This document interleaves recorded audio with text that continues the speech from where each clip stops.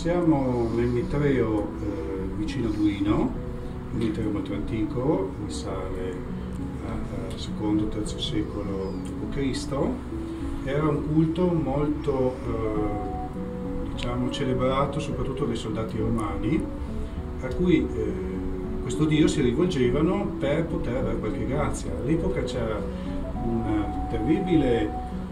dire, popolarità dell'astrologia per cui ogni, ogni passo che si faceva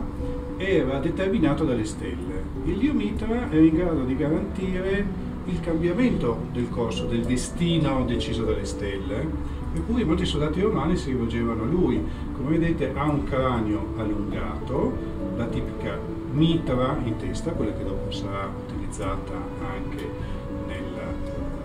cultura cristiana che viene portata dal Papa e eh, lo vediamo a cavalcioni di un toro, di un toro, può essere un leone, vediamo anche del, eh,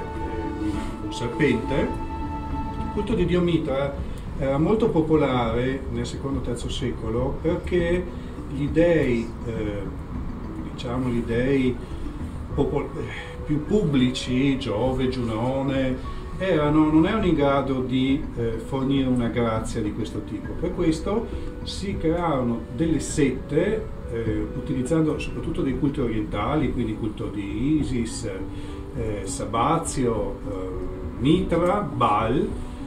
ehm, per cui rivolgendosi a questi dei attraverso queste sette e pagando ovviamente c'era la possibilità di ottenere qualcosa da questo Dio, c'era una sorta di mercanteggiamento con questi dei. Eh, qui questa grotta eh, è tipica di Mitrei perché è un culto che si faceva soprattutto in spazi sotterranei, è una grotta carsica che è stata recuperata molto bene, devo dire, dalla sovrintendenza. Questa è la pietra dei sacrifici che si trova al centro, ovviamente venivano fatti dei sacrifici eh, per ottenere la grazia da questi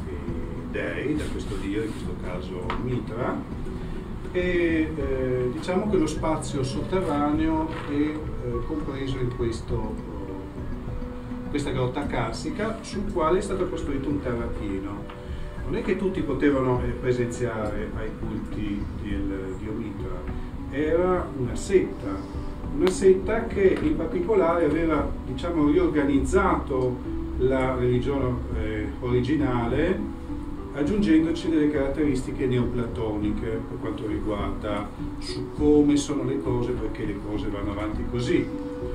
Però diciamo che tutto questo è stato cancellato eh, intorno al IV secolo, quando è stata proclamata religione di Stato il cristianesimo e tutte queste religioni eh, di origine orientale, ma che erano state modificate e adattate, eh, sono completamente scomparse stele lì. Dunque, come vedete, noi facciamo le nostre ricerche di archiacustica. In questo caso abbiamo cercato se esistono delle frequenze provenienti dal sottosuolo, il che è molto probabile perché qui ci sono le fonti del Timavo, quindi c'è sicuramente dell'acqua sotterranea che produce degli infrasuoni. Usiamo registratori digitali high-end, quindi di qualità, in grado di eh, avere un'ottima banda sonora che va dall'infrasuono agli ultrasuoni